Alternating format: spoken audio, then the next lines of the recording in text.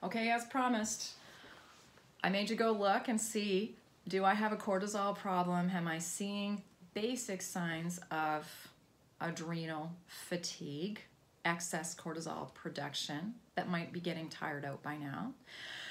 Increase in body temperature, spontaneous sweating, heat flushes, mind that races and races, won't stop, tired through the day, wound up at night, not sleeping well, cranky, grumpy, not actually going and picking up a sword and shield like our ancestors did, but doing battle on email, in the office, at home, in social settings. At least what our subconscious mind determines to be battle. And that's the trick. And that's what I'm going to talk about today is the role of the nervous system, the subconscious mind. In the fight or flight response, even though in our logical opinion, we're not in danger. There's no reason to be stressed. There's no reason to feel threatened or vulnerable. Our logical mind might think that, but our subconscious mind might be triggered by something. Our subconscious mind might have a different opinion of things, and it's our subconscious mind. It's our subconscious mind that's in charge of our cortisol production. It's in charge of what happens in our adrenals, which then affects the rest of our hormones, including thyroid, testosterone, estrogen and progesterone, melatonin, circadian rhythm, thymus gland stuff. That's your that's that's a bit of immune system coming in to play. Yes. Yes. What else? Blood sugar. Blood sugar is part of our endocrine system. It's connected to cortisol, stress. Oh God, how? Stay tuned. I'll tell you all about what cortisol does to increase our blood sugar and over time increase our risk of type 2 diabetes. But not for today. Stay tuned. Today, today we're going to look at the autonomic nervous system. Stay with me. I'm going to say that again. The subconscious mind, and in those terms, I mean autonomic nervous system. The rest of the body, all the things that regulate on its own, right? Because we don't have to logically think about, oh, keep my heart beating. It's not like we have to walk around and go, I need to keep my heart beating today. No, the subconscious mind keeps our heart beating so we can focus on the email we're writing or on the big piece of equipment we're driving. The autonomic nervous system. And if the clinicians and the scientists were as smart as they think they are, they would have just called it the automatic nervous system. But no, it had to be a fancy term. The auto, so the automatic nervous system, the autonomic nervous system, okay? It regulates our heartbeat. Uh, it keeps us breathing. So like, yes, I know we kind of hold our breath when we're concentrating a lot. Well, sign that you're stressed. What do we do when we're stressed? What do we do when we're alarmed by something? we hold our breath. Oh, there's another one as we're looking and we're and our eyes are like, oh god, this email. Okay, how am I gonna how am I gonna handle this? How am I gonna manage this? Oh, there's okay. There's something in my way here. What am I gonna do with my piece of equipment? How do I how do I steer around this? Uh, I got to make sure that I do this. I don't want to hurt that person. There's somebody over here. How do I get through this? And your eyes are wide and you're holding your breath. In a relaxed state, we breathe better. But our autonomic nervous system, our automatic nervous system, is in charge of a lot of different things, including whether or not we produce cortisol or whether or not we produce happy hormones. They're kind of opposites. So the more cortisol we produce, the less we are able to produce our happy hormones. What are those? Serotonin and dopamine and oxytocin. Oxytocin happens when we get a hug from somebody pet our animal or make love. Okay, so cortisol stress hormones or happy hormones. The body has to make a decision. Where am I? And the autonomic nervous system, not the logical mind, but the subconscious mind, has to kind of go, okay, let me assess this. Is my human on a battlefield right now, or is my human in a really cozy, comfortable, thriving situation where I can just chill? Because if the body believes that there's a need to produce cortisol, it'll produce cortisol, sacrificing its production of happy hormones in the process. So the more cortisol we produce, the less happy hormones we have. Okay? That's how the nervous system comes into play. The nervous system makes the decision whether or not to produce cortisol out of all our energy and nutrients, or whether or not to produce serotonin and dopamine and oxytocin, or healthy testosterone, or estrogen and progesterone in the right balance so our periods don't get all clotty or whatever. So,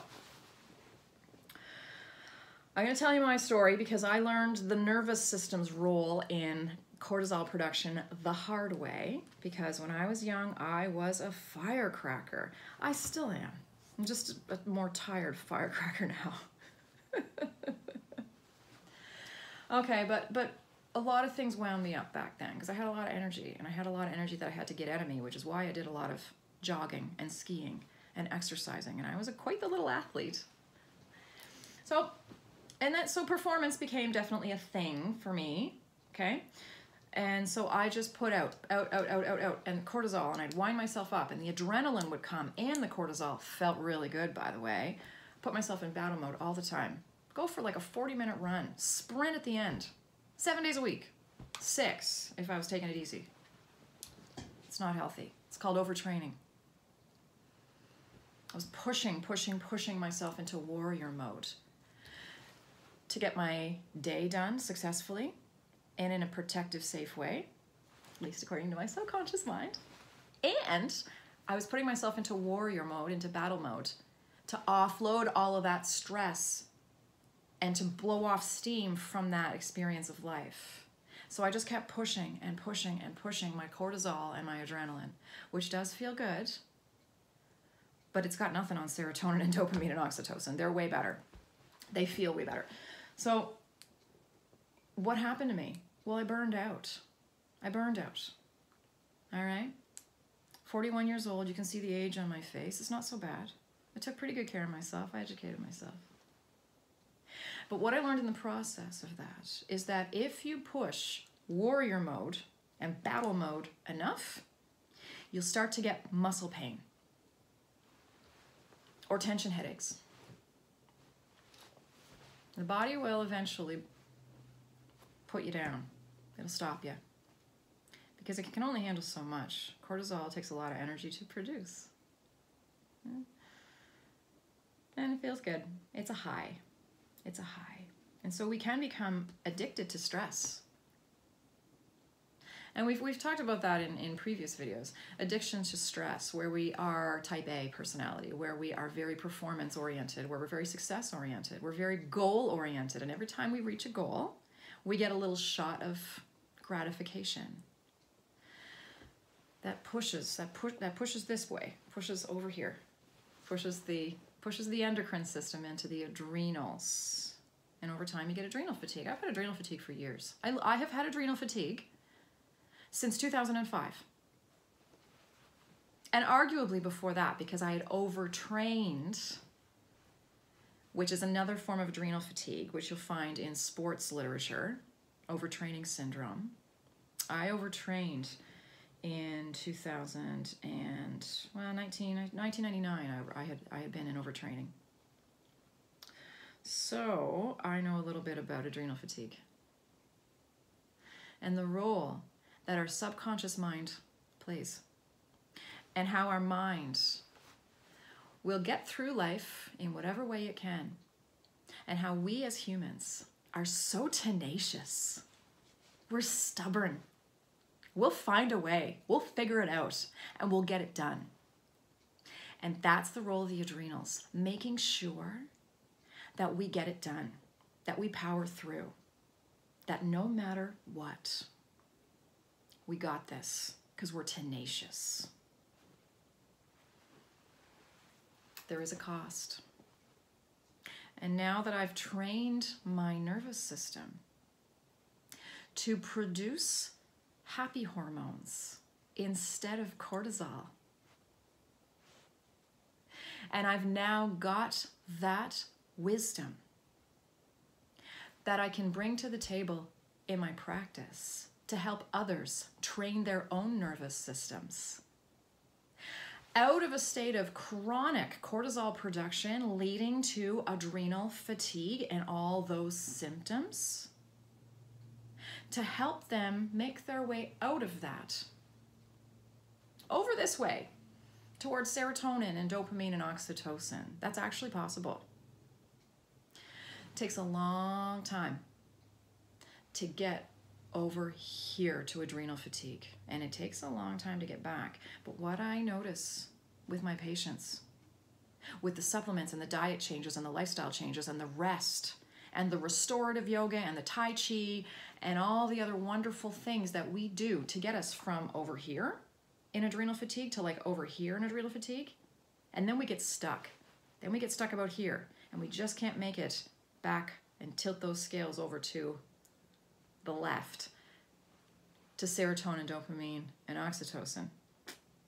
And that's where my nervous system training comes in. That's where I operate. Yes, I can help you from here to here. That's easy. I've been doing that for years. Okay? The last little bit. If you're stuck right there, let me help you get over. It's not easy, but it is simple. Give me a call if you think I can help.